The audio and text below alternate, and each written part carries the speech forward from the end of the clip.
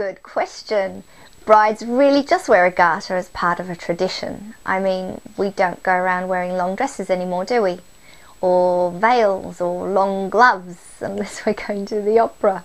And it's the same with garters. We don't need them to keep our stockings up anymore. It's just one of those things that have been done generation after generation. And it's nice to keep up a tradition because it makes it special.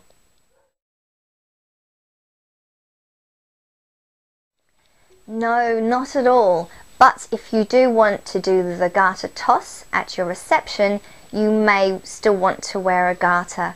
Or you may want to do the garter toss and not wear a garter. You can simply have a garter and then just slip it on just before the garter toss.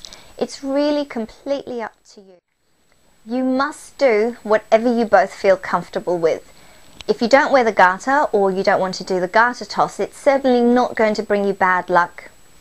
The only thing that will spoil your day is if you don't feel comfortable. Thanks for watching. If you think this video was helpful or you liked it, please don't forget to click that like button.